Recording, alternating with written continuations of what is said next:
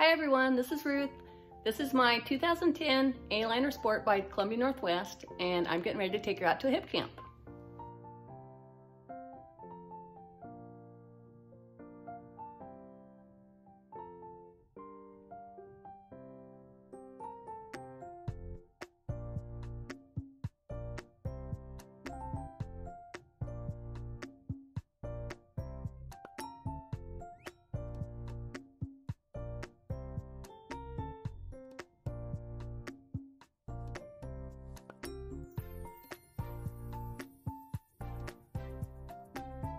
White check.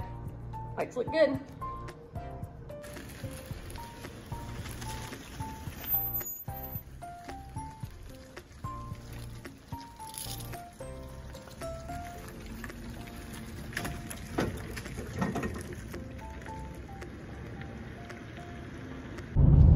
Okay, on the road.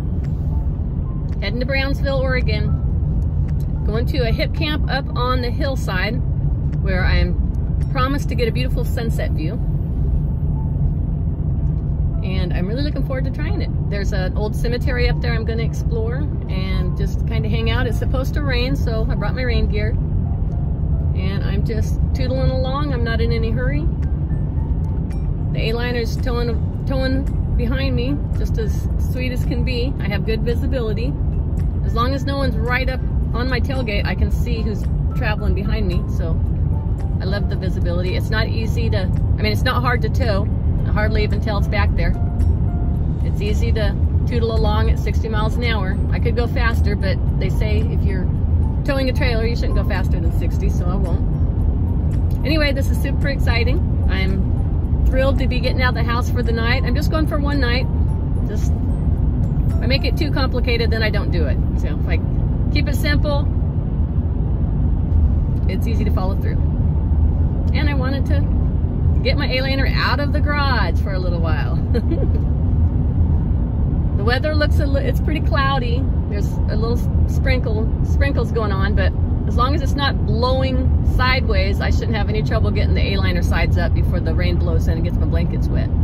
Hopefully that won't happen. So, off we go. See you up there.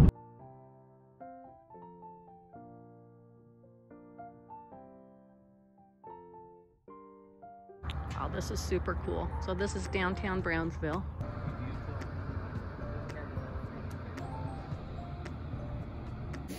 Oh my goodness, how do you decide what to get? Everything looks so good. Well, this is really nice. Check this out. Sides are going up. This is a really nice spot on the hillside. Beautiful views. They've got power, water, sewer.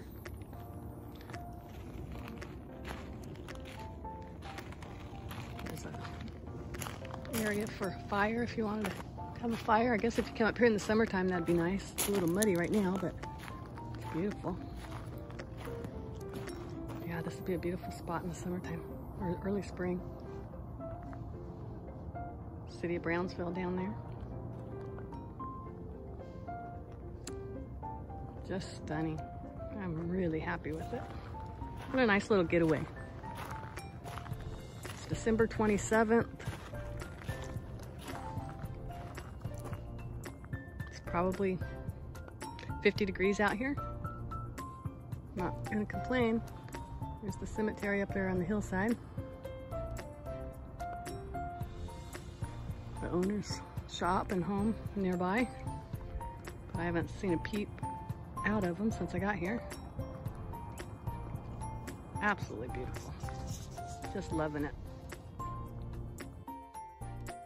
Well, I beat the rain. I'm all tucked into my A-liner. I've got a beautiful view out there. I can hear a little bit of rain sprinkling. You can see it on the window. And I'm about ready to have my bowl of soup curl up in my sweatpants, and start a good book. So here's my setup.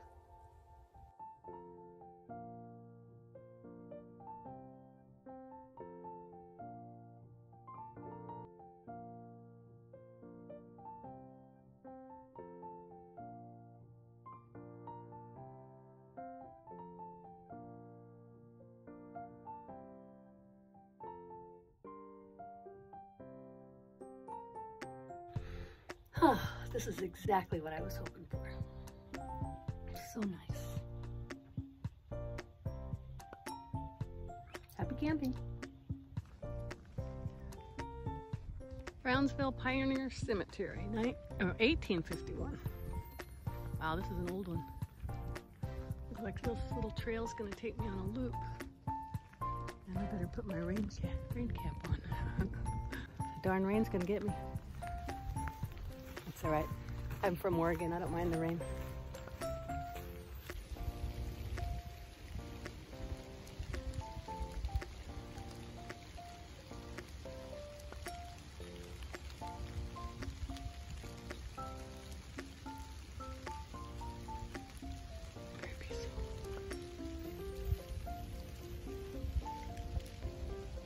As much as I love it out here in nature, it's beautiful, it's green, it's wet.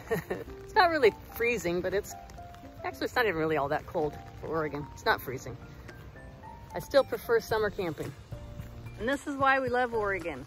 It's pouring down rain, but do you see that little patch of blue sky up there? I do.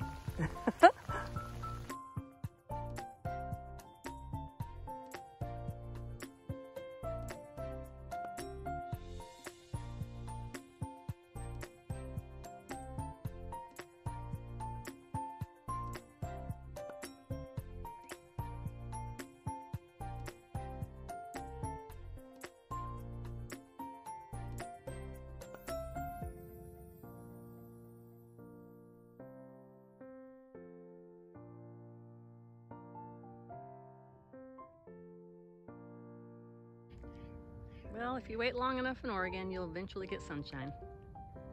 The rain blew through. Now it's beautiful out here.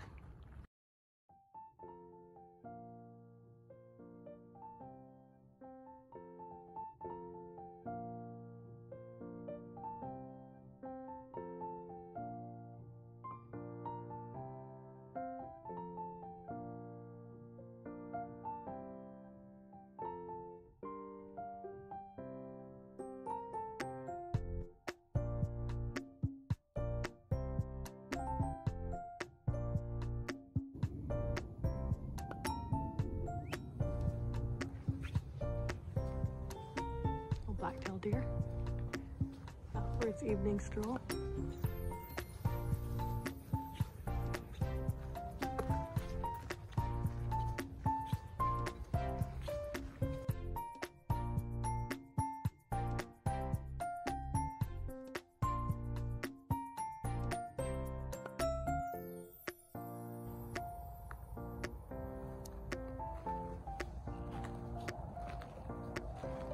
Like it's gonna be a peaceful night up here.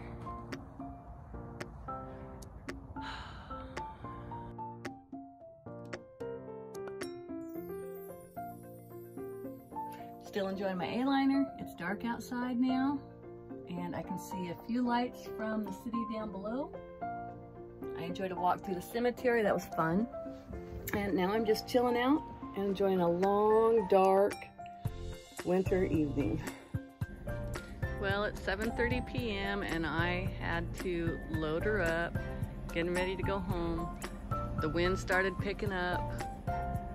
The moon is high and I just couldn't stand the gusty wind. I was too afraid my A-liner sides were gonna cave in and I'm sitting sideways. I could have probably moved her back against the hillside a little bit more out of the wind, but I just didn't want to take a chance on it. And then I wouldn't be able to plug in either. So my trip was cut short, but it was actually really pretty. It always sucks when things don't go according to plan. Had I realized being parked on the hillside like that was going to be a wind tunnel, I really would have rethought how to park it. So I should have been I should have been nose to the wind instead of side to the wind. Long story short, it's not worth taking the chance on having my sides blow in. I don't want to ruin my trailer and I don't want to get hurt. So anyway, I'm home. It was a good trip. I'm glad I went. I was just reminded on what I need to do to take her out overnight. And she needed to get some fresh air and a little rain and sunshine. So anyway, it was fun. Thanks for joining me and everyone out there, happy camping and be safe.